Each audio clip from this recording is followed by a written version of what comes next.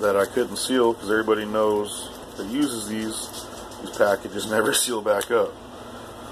And they came in fluid and stuff, but it all dried out because I live up here and where it gets super hot.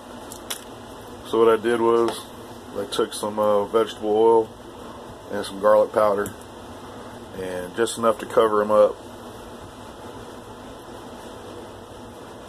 And I'm going to leave them in there and see if it uh, doesn't like, you know, I shook it up, of course, to get the garlic salt and everything. Sorry about the camera shaking. Holding my phone for now. But yeah, we'll see if that works. Brings them back. I'm going to try them next time I go fishing. If they didn't work, they didn't work. I was going to have to throw them away anyways. There'll be a part two to let y'all know how it worked. Or didn't work. Alright, y'all. Peace.